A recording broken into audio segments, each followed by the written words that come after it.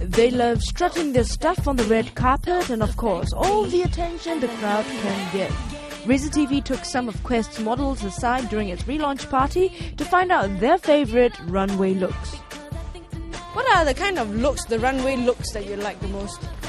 Runway looks, um, okay, probably if you wanna go by designer wise, I like uh, Alexander McQueen and uh, Marc Jacobs looks on runways. So they're very like um, um, loud colors. So, what are your favorite runway looks, you know, that you would love to try out yourself? Um, the very wild ones. Yeah, like really, very wild and colorful. Uh. I really like those kind of runway looks. Alexander McQueen. Oh, you too! Yeah. and uh, I like I like Victoria's Secret a lot. And what are some of the don'ts for models? So, what's a fashion no no that you would never commit? Like, I wouldn't ever do that, that kind of thing. Hmm. VPL.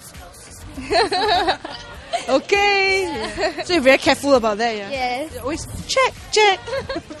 Yeah, seamless is the best. Uh, I don't know. They would have dragged you kicking and screaming before you would do something like that. That sort of thing. Probably just being in very little clothing. Uh. I'm, I'm okay with leopard prints and all that stuff, uh, but yeah.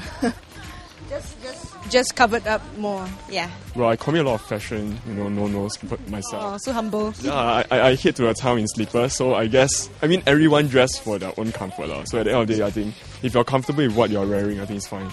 So, fashion no nos are not very high up on your list. No, definitely not. To be honest, I really don't know about too much about fashion, so I could not answer that question. I think I'm open to do almost everything if it's something that that somebody could be a change, but I don't think so. I will, I will be not doing something. I think so. I'm very open-minded to whatever is offered to me.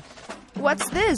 I spy with my little eye Korean stars twinkling in the crowd.